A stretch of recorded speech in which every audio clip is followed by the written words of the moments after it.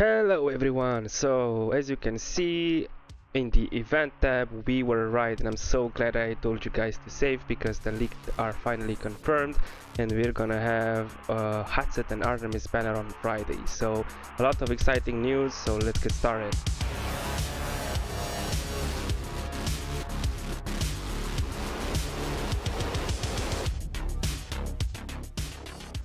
Okay, so should you summon this weekend? The answer is going to be short for every single class from free to play to whale and krakens. Yes, yes, yes, yes, you should summon.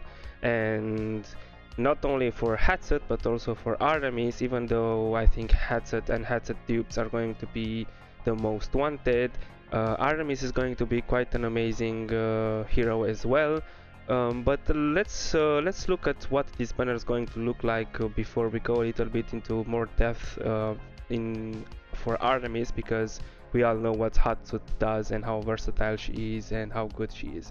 So the legendaries are going to be Hatset and Artemis, which is quite amazing. I've seen uh, uh, quite a pattern with Moonton's banners uh, quite recently, ever since the uh, last and arrogance banner they've done and they've then they've basically placed a lot of good banners for all of us to have and I think this is one of them um, Hatset, as I said, really amazing hero. I don't have her, and many people that do got her through her first uh, 10x, so very good for them.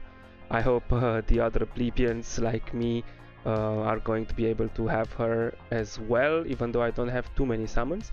But uh, alongside Hatset, we're gonna have Artemis, um, a cult um, healer from the cult faction, and um, alongside them, we're gonna have some pretty interesting epics as well. I mean, Scorch is quite a good epic. I mean, he's a well-rounded AoE fighter that helps you a lot in the uh, faction trials. So this is a good, uh, a good epic uh, as well as Olog, which is actually one of the best epic tanks, if not the best epic tanks there are out there. So um, uh, he is going to be, if you don't have him, he is going to be worth pulling on this banner for sure. He alone can increase your account um, efficiency and uh, account uh, utility in a variety of content. So this Olog is amazing to have in a in an epic banner. And alongside those two epics we have also an Azoth which actually I don't use him quite a lot but uh, I think you can do some interesting builds with him. You can make a build or try to reach a build in which he ults almost um, all the time and that's pretty cool. But all in all, even the epics are decent. The second legendary besides Hatset is quite good and promising, and Hatset is the best hero in the game, arguably. So this banner is going to be amazing to pull on. So that's what I'm what I'm going to do on Friday as well, and I advise you to do the same. If any of you guys, and a short disclaimer, if any of you guys want to want me to pull for you, um, I'll announce a live on Friday in which we can do that together and uh, pull on your guys' account. So we all know Hatset, we all know how good she is, we all know what she does. Uh, for those that don't or are newer to the game, just know that she is an AoE marksman. Um, she is uh, very good because she also can deflect damage by being invisible and uh, basically she's very useful in Gear 3 and in a lot of content from the game. So she is considered to be one of the best heroes in the game, if not the best. But what about Artemis, right? So let's uh, let's look a little bit more into Artemis's kit because he, in my opinion, is one of the best looking heroes that we've ever gotten in Watcher of Realms. Like, look at this guy. He has amazing, amazing posture. I love snipers in every single game. Uh, if it was a medieval game, I always would have played an archer, long range. If it was uh, more of a modern warfare game, I always like to pick a sniper, and I love the sniper look, the sniper everything and I love edgy looks usually and he is a sniper with an edgy look so this is the best combination ever I think he could have made a very very good uh, a very very good DPS not healer but uh, on that he actually can do DPS even if he's a healer. So let's read into him a little bit more. So Artemis, renowned for his formidable blood healing technique, the Sanguine Surgeon is a constant presence amidst the fallen. His vital serum wields a dual power, inflicting anti-healing on foes while bestowing recovery upon allies. So that's pretty cool, right? You can already sense what his kit is going to look like from his description. So talent. When healing allies applied with Blood Craving restores 2% rage. So Blood Craving is increases the healing received from Artemis' basic attack by 30%. So that's quite good, right? He's also going to increase the healing uh, received from Artemis' basic attack by 30% and also provide some rage regen for himself, which is quite good. Why? Because you'll see in a moment, he's actually going to be able to do DPS during his ultimate. So let's read into, into his single target heal. Grants attack-based healing to one ally in range and you can improve that by up to 20% healing multiplier at level 5. So he has attack-based healing. To some people usually that would be disappointing right? Because attack based healers aren't necessarily that good because you don't do anything else with the attack the, the attack that you accumulate on a healer besides uh, dealing more heals right? But uh, that's why Vortex as an epic healer was so sought after or so useful because he had HP based healing and at least you could have used his HP that you built for him to also be quite a good tank. This is why he was very good to tank uh, hits in gear rate 221, right? You can put him on the left side and tank every hit from the little uh, boulder people attacking you. So uh, your other uh, lineup hero can be lineup heroes can be can be free, right? So usually you would want someone that can benefit from his uh, stat-based healing, right? So up until now, attack-based healers weren't necessarily that good, depending on what else, uh, on what synergies they might have besides the the uh, stat-based healing. But now, since we have a DPS healing hybrid like Artemis, this is going to be quite useful to be an attack-based healing. So let's continue reading. Crimson uh, Reaper. During the ultimate, locks onto enemies dealing 160% AoE damage to up to 8 enemies with each attack and inflicting anti-healing on them. So right, that is quite good and you can get that for get that up to one up to 200% AoE damage at level 3 which is amazing for a healer, right? So he's not only going to be able to heal, but during his ultimate, he's also going to be able to um, deal damage and provide anti-healing. So especially with Boreas's uh, nerfs, even though they plan to improve his anti-healing, having another anti-healer out there can be quite useful, especially in Gear 8 1. So I think I saw a, video of Fastidious, I think that uh, he used this guy uh, and created some builds and showcased him in Gear 8 120 I think if I'm not mistaken.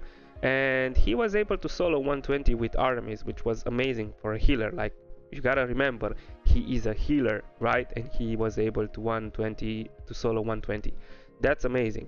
So he during his ultimate is going to be able to do up to 200% AoE damage to 8 enemies with each attack and inflict anti-healing. So that's perfect for Gear 8 1 and uh, besides that he's also going to heal. So let's say that he has instead of enemies he has a lot of uh, of uh, allies in range. He's not only going to deal DPS during his ultimate if there are no enemies there he's also going to be able to hit your uh, your allies and heal them. So revitalizing shot. During the ultimate heals up to 3 allies around the target with 100% healing multiplier upon hit Basic attack prioritizes enemy targets during the ultimate unless there are only allies in range. So as I told you before, unless there are only allies in range, he's going to prioritize enemy targets. But he's, he's capable of uh, healing allies too. So uh, heals up to 3 allies around the target with 100% healing multiplier upon hit. That's amazing. So he can heal allies around him while uh, while um, while dealing damage so he's not lacking in the healing department he is still doing damage and healing at the same time sanguine tonic so periodically locks onto allies excluding the hero so excluding Artemis itself himself and throws sanguine tonic on them when hitting a target applies blood craving to nearby allies and heals them with 100 with a 120 healing multiplier. So this is the way that you apply blood craving apparently. So you periodically lock onto allies and then throw sanguine tonic on them um, every 30 seconds apparently. So uh, blood craving lasts for 10 seconds. So let's say there's going to be a 20 second gap in which you're going to reset blood craving so uh, during blood craving he's also going to restore 2% rage so i think it's building him with a little bit more rage regen can help um, but uh, I think it's still we still need to test this out and see how it goes. But he looks very promising. And besides that he looks very cool. I know he, this might be underwhelming and some minimax people might want just utility but I think this game started uh, his uh, started to attract audience by the way it looked. And I really think it's very important to have some uh, cool looking heroes like Artemis is because it's nice it's very nice like even I'm, I'm sorry to say that Zealous is so bad but it's it's so cool looking right so it's it, it is underwhelming when you have a really cool looking hero but uh, quite a weak one but it doesn't seem to be the case for Artemis. So I'm really excited to see what I get. I don't think I'll have enough to pull for both. I don't know if I will even I'll even get one of them. To be honest, with my luck, I'll probably get uh, another useless legendary that I don't need, but we'll see that on Friday. But um, I don't think I'll be mad if I get Artemis. I know I really want Hatset. Maybe, maybe I'll be a little bit bummed, but at least Artemis is a good looking hero and is nonetheless a useful one. So, um, yeah, I think I'll read into his story in uh, one of my next videos because he definitely looks like he has a cool story. And I'll definitely pull on Friday, and I urge you to pull as well because it is very, very, very, very, um, a very cool banner. Other than that, the crazy divine summoning and the crazy invocation of spirits, man, I mean, who else would choose to go on that rather than the Hatset 10x? I don't think that's even, it's a no-brainer in my opinion. Go for the Hatset 10x. And the ancient summoning, starting on Saturday, I don't think that we should pull our, our ancients yet because Valderon is still on its way, on his way, and we have been saving like crazy. I have 91 ancient summoning crystals I haven't spent them for quite a while now and I'm planning on gathering even more because I really want Valderon. In case you don't know, Valderon is going to be a chaotic um, a chaotic lord a fighter that's going to be quite crazy if he stays the way it is on the test server right now. Uh, so yeah, uh, we don't I don't think we should spend our ancient just yet, but definitely we should go for the Hatset and Artemis 10x. So uh, wishing you guys best of luck in the upcoming week's uh, weekend banner. Again, if you want to join our live or uh, have me pull your pulls or your summons on uh, my live on Friday, I think I'll be streaming my my pulls live on um, 9 p.m. Um, EET. So make sure that you check me out and see what I pull. Um, maybe you can bring me a little bit of luck. Other than that thank you for watching. Let me know if you have any questions or um, if you would like to see something from uh, something else in my explanation or talk about something a little bit more. Uh, don't forget to like to subscribe to comment. I respond to every single comment that i see. Uh, this has been andy event horizon gaming. See you guys